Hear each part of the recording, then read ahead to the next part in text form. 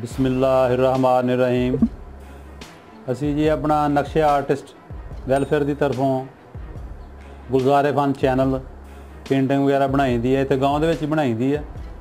ਤੇ ਸਾਡੇ ਕੋਲ ਜਿਹੜੇ ਬੱਚੇ ਲਿਖਣ ਆਉਂਦੇ ਆ ਨਾ, ਉਹ ਫਿਰ ਉਹ ਵੀ ਦੇਖਦੇ ਨੇ ਤੇ ਮਜ਼ੀਦ ਸ਼ੌਕ ਪੈਦਾ ਹੁੰਦਾ ਵਾ। ਉਹ ਇੱਕ ਦਿਨ ਮੈਂ ਬਣਾ ਰਿਹਾ ਸਾਂ ਤੇ ਦੋਸਤ ਬੱਚੇ ਬੈਠੇ ਸਨ ਤਾਂ ਬੱਚਾ ਇੱਕ ਕਹਿ ਰਿਹਾ ਸੀ ਕਿ ਮੇਰੇ ਨਾਂ ਦੀ ਪੇਂਟਿੰਗ ਵੀ ਬਣਾ ਕੇ ਦਿਓ। ਮੈਂ ਕਿਹਾ ਠੀਕ ਹੈ ਜੀ, ਬਣਾ ਦਿੰਦੇ ਹਾਂ।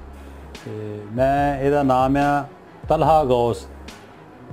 ਬੜਾ ਤਾਬਿਆਦਾਰ ਮਾਸ਼ਾਅੱਲਾ ਇਹਨੇ ਸਵੇਰ ਆ ਕੇ ਬਕਾਇਦਾ ਥੜੇ ਨੂੰ ਸਾਫ਼ ਕਰਨਾ ਫਿਰ ਇਹਨੇ ਦਰੀ ਵਿਛਾਉਣੀ ਆ, ਪਾਣੀ ਛਿੜਕਣਾ ਵਾ, ਝਾੜੂ ਲਾਉਣਾ ਵਾ, ਫਿਰ ਬਹਿਣਾ ਵਾ। ਕਿਉਂਕਿ ਕੰਮ ਸਿੱਖਣ ਦਾ ਜਿਹੜਾ ਹੈ ਨਾ, ਇਹੋ ਹੀ ਅਦਬ ਅਦਾਬ ਹੁੰਦੇ ਨੇ, ਜਿਹਦੇ ਨਾਲ ਬੰਦਾ ਨਾ ਕਾਮਯਾਬ ਹੁੰਦਾ ਵਾ। ਇਹ ਬੁਨਿਆਦ ਹੈ ਇਹਦੀ। ਜਿਸ ਬੰਦੇ ਦੀ ਬੁਨਿਆਦ ਸਹੀ ਹੁੰਦੀ ਆ, ਉਹਦੀ ਆਖਰਤ ਵੀ ਜਿਹੜੀ ਆ, ਉਹ ਬਿਹਤਰ ਹੋ ਜਾਂਦੀ ਹੈ ਤੇ ਮੈਂ ਇਹਦੇ ਨਾਮ ਦੀ ਹੁਣ ਨਾ ਪੇਂਟਿੰਗ ਬਣਾਵਾਂਗਾ।